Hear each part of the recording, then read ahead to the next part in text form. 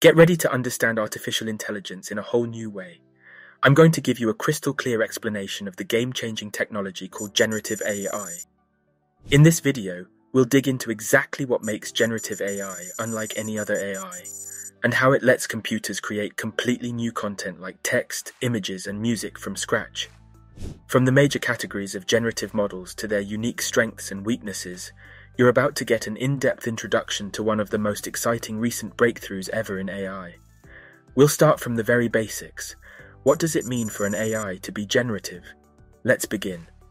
Generative AI refers to a class of artificial intelligence systems that are capable of generating new original content based on patterns learned from existing data.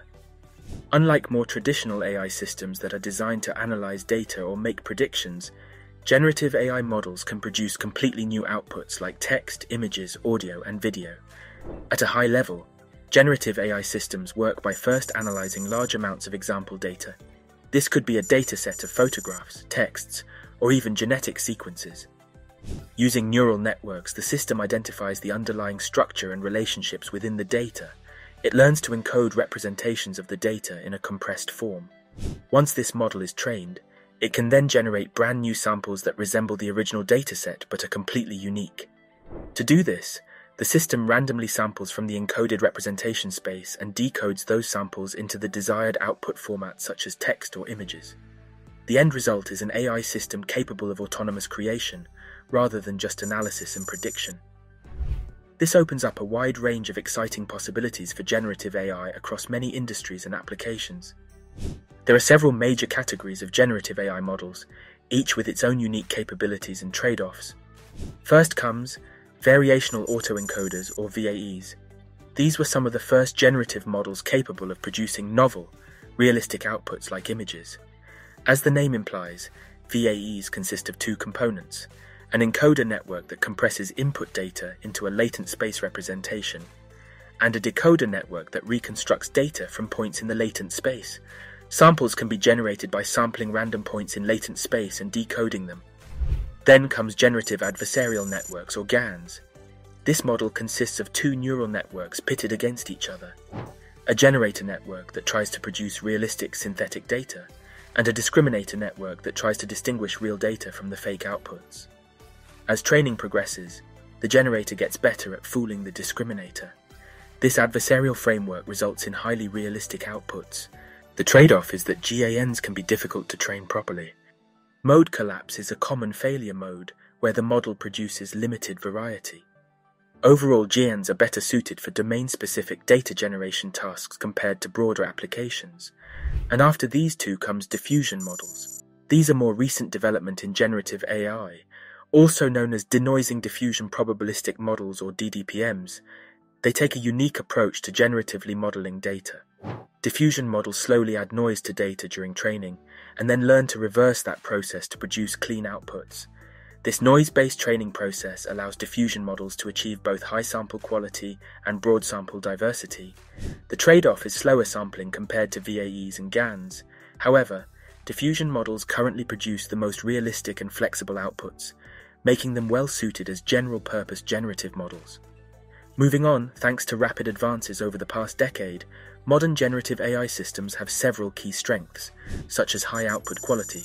Outputs like images are often indistinguishable from real data, while generated text can be coherent and human like.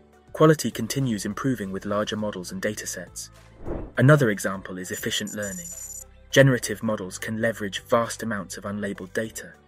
This semi supervised approach speeds up training and reduces data labeling costs. Then we have flexible applications, a single generative model can tackle multiple different tasks like image editing, text generation, and sound synthesis based on the prompt and conditioning inputs provided by the user. And finally, data augmentation. Generative models provide a data factory to cheaply synthesize large labeled datasets to train other machine learning systems. This is especially useful when real data is sparse or absent. Furthermore, while generative AI holds great promise, current models have some weaknesses too which starts with computational costs. Training and running very large generative models requires massive amounts of computing power. Specialized hardware like high-end GPUs is often needed, putting these models out of reach for many organizations due to the financial costs. Then we have sampling speed.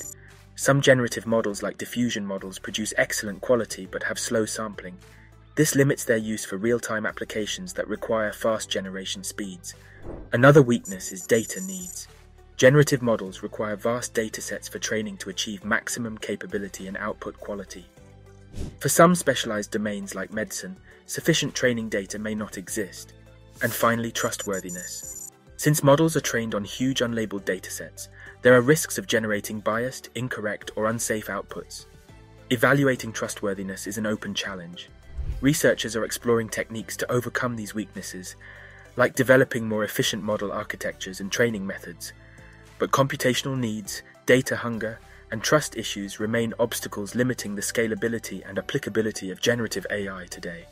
And now let's talk about some use cases for generative AI. Despite current limitations, generative AI enables exciting new applications across many industries.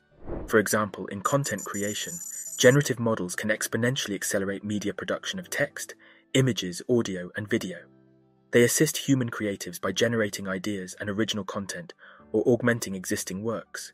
In data augmentation, generative models synthesize realistic training data to save labeling costs for other AI systems.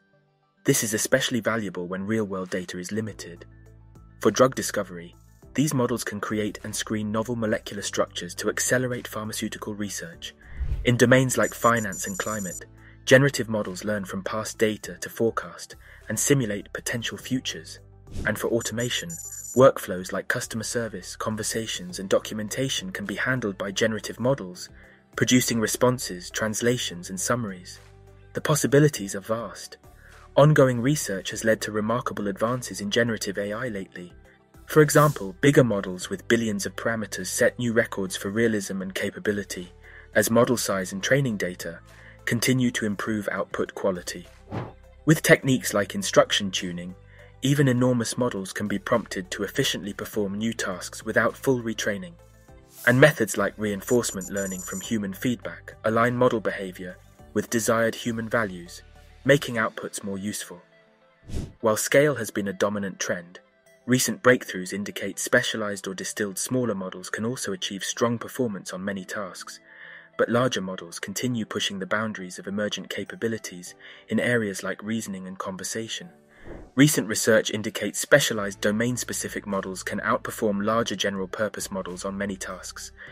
This suggests smaller, tailored models will play a bigger role moving forward. Techniques like model distillation could also allow compressing capabilities of huge models into more efficient versions. Perhaps most critically, the trustworthiness of generative models needs to increase substantially. Techniques that provide users transparency, Control and accountability over how models behave will be crucial for managing risks around bias, misinformation, and harmful content. And that's all for today. If you're excited about AI innovations and want to stay updated with the latest trends and insights, subscribe and turn on notifications. Remember, AI is not our enemy, but our ally, ushering us into a future of endless possibilities.